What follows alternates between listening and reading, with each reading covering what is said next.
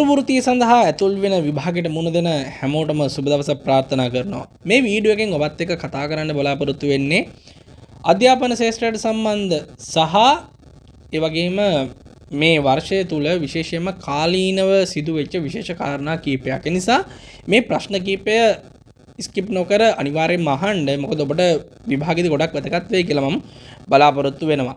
හරි. එහෙනම් අපි කෙලින්ම ගොඩක් වෙලා ගන්න ඇතුව ප්‍රශ්නවලට යොමුවමු ඌවවෙල්ලස්ස විශ්වවිද්‍යාලයේ නව කුලපතිවරයා කෞද කියලා ඇහුවොත් අපි දෙන්නවන උත්තරේ තමයි මහාචාරය ජයන්ත බලවර්ධන මහතා. ඌව වෙල්ලස්ස විශ්වවිද්‍යාලය නව කුලපතිවරයා. එවගේම තමයි දැන් අපිගේමකො යම් කිසි ශිෂ්‍යයෙක් පාසලකට ඇතුළත් කරනවනං අපිට අත්‍යවශ්‍යම ලේකනය මොකක්ද උප්පැන්න සහතිකය.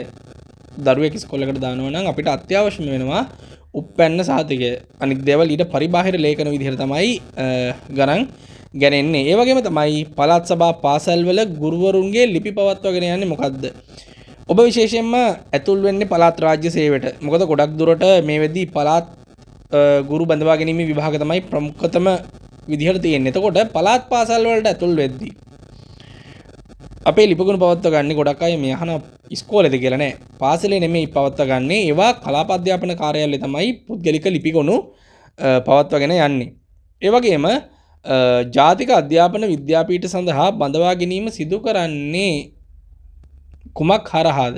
ජාතික විද්‍යාපීට ගුරුවරු පුහුණු කරන විශේෂම ස්ථානය. අපොස උසස් පෙළ විභාග ප්‍රතිඵල අනුව තමයි ජාතික අධ්‍යාපන වීට පීටවලට බඳවා ගැනීම සිද්ධ කරන්නේ. ඒවගේම තමයි ජාතික අධ්‍යාපන විද්‍යාපීට මගින් ගුරුවරුන් ගුරුසේවයට බඳවාගන්න පන්තිය සහස්ශ්‍රේණිය මේක ගොඩක් වැදගත්. මොකදයි පන්ති සහ ශ්‍රේණි සම්බන්ධව ම මගේ පහුගේ වීඩුව එක කතා කර. එකතිම වෙන වෙනම පැහැදවා මොන කැටගරී යටතෙද බඳවගන්න කියලා. එතකොට මේකෙදී දැන් මේ ප්‍රශ්නයම වෙන්නේ විද්‍යාපීට හර බඳව ගදදි මොන ශ්‍රේණීට තුළ කරගන්න කියලා බඳවගන්න කියලා. ඒක තුන එක ආයන්න යටති තමයි බඳවගන්නේ හොඳට මතක තියාගන්න විද්‍යාපීට තුන එක ආයන්න එක අතිශයෙන්ම වැදගත් ප්‍රශ්නයක්. මොකදව මාරුවෙන්න්න පුළුවන් ඔය බඳවාගෙන.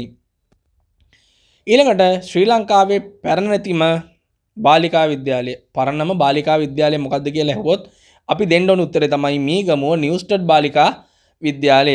මේ ගමුව නිවස්ටඩ් බාලිකා විද්‍යාලය. ඒවගේම තමයි අපිට තව අහන්න පුළුවන් ප්‍රශ්නයක් තමයි ශ්‍රී ලංකාවේ පැරණතිම බෞද්ධ බාලිකා විද්‍යාලය මොකක්ද කියලා හුවොත් අපිට දෙන්න පුළුවන් උත්තරේ තමයි ප්‍රසිද්ධ පාසලක් සංගමිත්තා බාලිකා විද්‍යාලය. ලංකාවේ පැරණිත්තම බෞද්ධ බාලිකා විද්‍යාලය. ඒවගේම තමයි ලංකාව තියෙනවා බන්ධනාගාර පාසලක්. මොකක්ද බන්ධනාගාර පාසලක්. එතකොට මේ බන්ධනාගාර පාසල මොකක්ද බඳනාගර පාසල තමයි සුනීත විද්‍යාලය. එතකොට මේක තියෙන්නේ කොහෙද? සුනීත විද්‍යාලය පිටල තියෙන්නේ හෝමාගම වට රැක කියන ප්‍රදේශයේ හෝමාගම වට රැක කියන ප්‍රදේශයේ හොඳර මතක තියාගන්න ඕනේ වැදගත් කාරණාවක්. එවගේම තමයි හෝමාගම හරිත සරසවිය ආරම්භ කරන ලද වර්ෂය. හොමාගම තියෙනවා හරිත සරසවිය. එක ආරම්භ කරපු අවුරුද්ධ මොකක්ද ඒක තමයි දෙදස් දාසයවෙනි අවුරුද්ධ දෙදස් දාසයේදි තමයි මෙම හරිත සරසවිය ආරම්භ කරලා තියෙන්නේ. ඒවගේම තමයි දහතුන් වසරක සහතික කරන ලද්ද අධ්‍යාපන වැඩ සටහන යටතේ හඳුන්වා දුන් නව විෂයධාරාව. මේක වෘතිය විෂයධාරා විදියට හඳුන්නනවා බොහොම මෑතකදි තමයි මේක එකතු වෙන්නේ. එතකොට මේක ගැන අපි අප්ඩේට් එකක් දැනගෙනින් ඕනේ. බොද කාලාන රූපියව අධ්‍යාපනය යම් කිසි යත යාවත් කාලීන වීම් සිද්ධ වෙන තකොට ඒව ගැන ලොකු නැබුරුවක් විභාගේ අහන්ඩ ඉඩකඩ පවතිනවා. ඒවගේම තමයි සෞන්දර්ය කලා විශ්වවිද්‍යාලයේ නව කුලපතිවරයා කවුද කියලා ඇහුවොත් ඒ සුනිල් ආරියරත්න මහතා. සුනිල් ආරියත් රත්න මහත තමයි සෞන්දර්ය කලා විශ්වවිද්‍යාලයේ නව කුලපතිවරයා විදිහට වැඩ කරන්නේ. එවිට තවහන්න පුළුවන් ප්‍රශ්නයක් තමයි පරිබාහිරින් ගයොත් වක්‍රවහන්න පුළුවන් ප්‍රශ්නය බුත්සර නම් සාහිත්‍ය කෘතිය කතුවරයා. බුත් සරණ නම් සාහිත්‍ය කෘතිය කතුවරයා තමයි විද්‍යා චක්‍රවර්ති. බුත් සරණ ලිල තින්නේ විද්‍යා චක්‍රවර්ති. හොම මතක තියාගණ්ඩයි ගොඩක් වෙලාරින්ඩ දේවල් නෙමේ මේවා. ඒවගේම තමයි ශ්‍රී ලංකාවේ පවතින අධ්‍යාපන දිස්ත්‍රික්ක සංඛ්‍යාව. දිස්ත්‍රික්ක නන්තියනවනේ නමුත් අධ්‍යාපන දිස්ත්‍රික්ක සංඛ්‍යාව ගේද කියලා හොත් තිහක් තමයි තියෙන්නේ ලංකාවේ අධ්‍යාපන දිස්ත්‍රික්ක.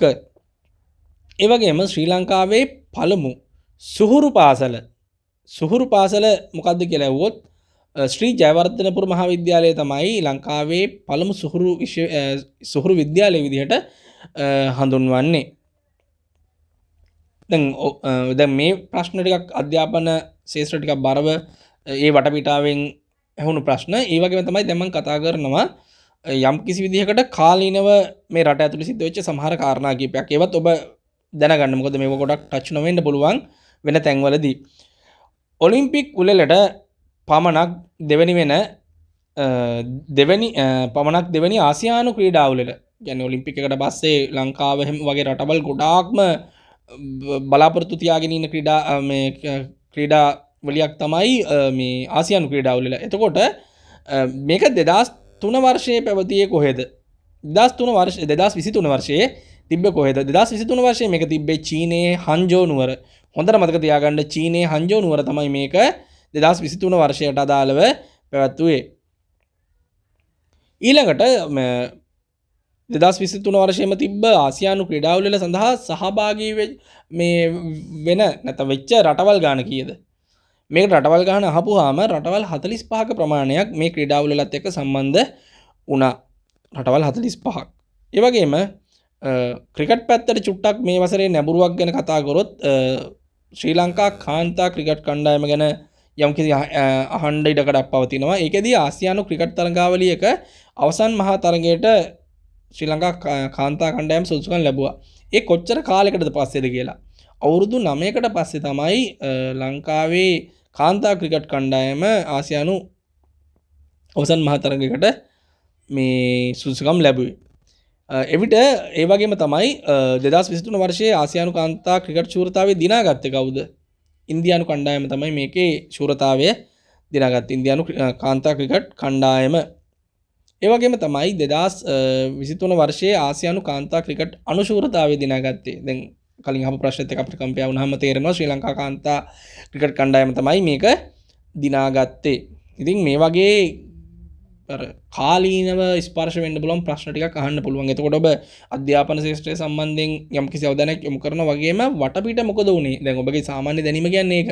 අධ්‍යාපනය සාමාන්‍ය දැනීම නෙමේ ඒකටත් බර දෙන ගමන් වටේ පිටිකකුත් අහන එතකොට ඔබ මේ අප්ඩේට්කින් නොනමකද ගොඩක් අයි මේ වගෙන අප්ඩේට්කින්න ෆස්බුක් වල වෙනත් සෝෂල් මීඩියාවල මේ වගෙන හොල දැකල ඉන්න ත ඔබ මේක ගැන අප්ඩේට් කෙනෙක් මේ නම් හැමලීම රස්සාාවකට යන කෙනෙක් නම් ඔබට මේ අප්ඩේට්න හරි අඩුයි.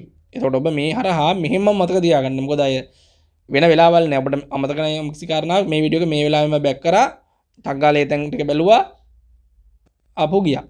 එතට ඔබට මේ ඇතුළීම බොහම කෙටියෙන් යම්කිසි දෙවල් මතක තබා ගැනීම හැකියාවක් පවතිනවා. හරි එනම් ඊළඟ වීඩුව එකත් මං ඉක්මට ගෙනවා සබස්ක්‍රප් කරලා තියාගන්න. එනම් ඊළඟ විඩුවෙන් හමුණතුරු ඔබට සුබ දවසක් ප්‍රාථනා කරනවා.